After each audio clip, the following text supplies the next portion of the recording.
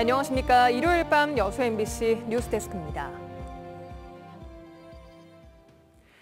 주말 동안 전남 동부 지역에서 발생한 코로나19 확진자가 8천 명을 넘어섰습니다. 오늘 오후 5시까지 여수에서 1,197명, 순천에서 1,373명, 광양 674명, 고흥 209명이 신규 확진 판정을 받았습니다. 이에 앞서 어제는 전남 동북권 4개 시군에서 5,536명의 확진자가 발생했습니다. 방역당국은 유행 규모가 정점을 지나 확진자 수가 완만하게 감소하는 양상을 보이고 있지만 기본 방역수칙 준수와 함께 백신을 접종할 것을 강력히 요청했습니다. 여수 세계박람회가 열린 지 10년을 맞이했지만 여전히 사후 활용 문제는 지지부진합니다. 이런 가운데 청소년 해양교육원에 이어서 박람회 정신에 부하, 가장 부합하는 공공개발의 모델로 국립해양기상과학관이 내년 말 박람회장에 들어섭니다. 최우식 기자가 보도합니다. 지난해 9월 국내에서는 처음으로 청소년의 특성화 전문화된 해양교육시설인 여수시 청소년 해양교육원이 문을 열었습니다. 지역민들의 기대에 부응한 박람회 사후 활용의 첫 성과였습니다. 내년 말 개관 예정인 국립해양기상과학관은 두 번째 사후 활용의 결과물입니다. 여수세계 박람회의 취지를 가장 잘 반영한 사후 활용 모델이기도 합니다. 지난 2020년 기상청과 여수시가 맺은 업무 협약에 따라 여수시가 부지를 제공했고 기상청은 시설을 건립 운영하게 됩니다. 342억 원의 예산이 투입돼 대표 전시물과 상설 전시관, 360도 특수 영상관, 미래기술 체험관과 예보과학교육실 등 차별화된 콘텐츠를 갖출 예정입니다. 광주지방기상청은 최근 착수 보고회를 가진 데 이어 오는 30일 착공식을 갖고 본격적인 시설 공사에 들어갑니다.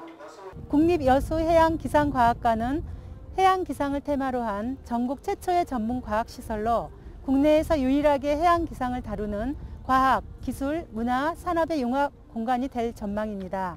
특히 기후변화로 인해 해마다 증가하는 태풍과 해일, 집중호우, 지진 등 자연재해에 선제적으로 대응하기 위한 전초기지가 될 것으로 보입니다. 여수시는 또 이 같은 시설에 이어 해수부 용역에 포함된 국제 컨벤션 센터 건립도 박람회장 활성화에 적극 활용한다는 계획입니다. 해양기상과학관 개관을 계기로 박람회 정신을 계승하고 여수 선언을 실천하는 박람회장 사후 활용에 기대감이 높아지고 있습니다. MBC 뉴스 최우식입니다. 민주당이 지방선거 후보자 공천을 위한 경선을 어떤 방식으로 선택할지를 놓고 관심이 쏠리고 있습니다. 민주당은 당헌 당규에 따라 국민과 당원을 각각 50%씩 여론조사하는 국민 참여 경선을 비롯해 100% 국민 여론조사, 권리당원 투표 100%, 시민 공천 배심원 경선 등 4가지의 경선 방식을 갖고 있습니다. 지난 2018년 지방선거에서 민주당은 광역기초단체장은 국민 참여 경선을, 광역의원은 권리당원 투표로 후보를 선출했습니다. 지방선거에서 광역기초의원의 30%를 청년과 여성으로 공천하겠다는 민주당의 방침 속에 전남은 청년 여성 난에 시달리고 있습니다. 3월 27일 현재 선거관리위원회에 등록된 광역과 기초의원 예비후보 현황을 살펴본 결과 예비 후보 전체 406명 가운데 여성은 43명으로 10%에도 이르지 못했고 40세 미만은 13명에 불과했습니다. 민주당의 최근 회의에서 박지현 공동 비상대책위원장은 인물이 없다고 하기 전에 문을 두드리는 청년과 여성을 다시 한번 봐달라고 강조했습니다. 지방선거가 두 달여밖에 남지 않았지만 지방의원 선거구는 아직도 획정되지 않았습니다. 특히 기초의원 선거는 중대선거구제 개편 여부에 따라 선거구 자체가 많이 바뀔 수 있는 상황인데요. 깜깜이 선거로 갈 우려가 높아지고 있습니다. 문현철 기자가 보도합니다. 인구 증가로 이번 지방선거부터 군의원 자리 하나가 늘어나는 무안군. 당초 두 개 기초의원 선거구가 세 개로 늘어날 것으로 예상됐는데 3인 이상 중대 선거구제 도입 여부가 변수입니다. 2인 선거구도 있는 만큼 3인 이상 선거구로 조정하려면 원점에서부터 다시 그려야 하는 상황입니다. 출마 예정자들은 답답해하고 있습니다. 그동안 공을 들였던 선거구가 일부라도 조정되면 당락이 바뀔 수도 있기 때문입니다. 지금 현재 60일밖에 안 남았습니다. 선거가. 그런데 선거 획정이 안 돼가지고 굉장히 어려움이 많습니다. 시민들은 물론이고 기존 정치인들도 굉장히 어려움이 많은데 빨리 선거 획정이 됐으면 하는 바람입니다.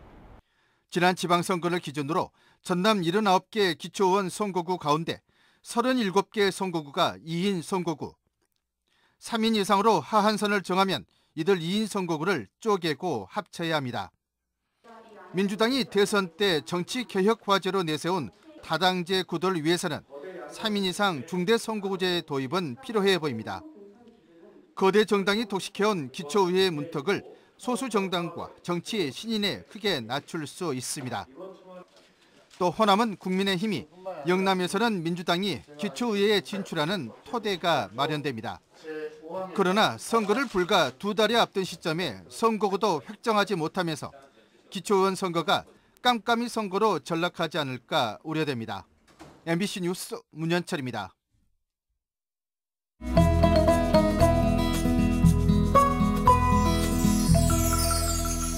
여수 MBC AI 내일의 날씨입니다. 전남 동부권은 오늘 맑은 날씨를 보였는데요. 기온은 평년보다 높아 포근했습니다. 내일도 전남 동부 지역은 맑은 날씨를 보이겠습니다. 내일 한낮 기온은 오늘보다 5도가량 낮겠습니다. 여수 5에서 12도, 순천 3에서 14도, 광양 4에서 14도, 고흥 2에서 13도를 보이겠습니다. 내일 광주는 3에서 15도, 모포는 3에서 13도를 보이겠습니다. 내일 남해서부 해상은 대체로 맑겠습니다. 파도는 남해서부 앞바다에서 0.5에서 1.5m, 먼바다에서 1에서 4m로 일겠습니다. 당분간 포근한 날씨가 이어지겠습니다. 수요일과 목요일에는 비 소식 있고요. 일교차가 10도 내외로 크게 벌어져 건강관리에 유의해야 합니다. 지금까지 AI 날씨였습니다. 여수시가 올해는 4월 2일부터 스토리텔링 체험 관광을 운영합니다. 여수시는 이순신 숨결 따라라는 이름으로 스토리텔링 체험 관광 상품을 운영할 예정이라며 문화관광 해설사와 함께 이순신 장군의 역사 문화 유적을 산책하고 다양한 체험 활동을 경험해보는 관광객 참여형 상품이라고 밝혔습니다. 주요 체험으로는 난중일기 서책 만들기와 잔공복 입어보기, 국악 버스킹 등으로 매주 토요일 오후 3시부터 3시간 동안 20명 한정으로 진행될 예정입니다. 순천시가 올해는 4월부터 식당과 카페 등 매장에서의 일회용품 사용을 금지합니다.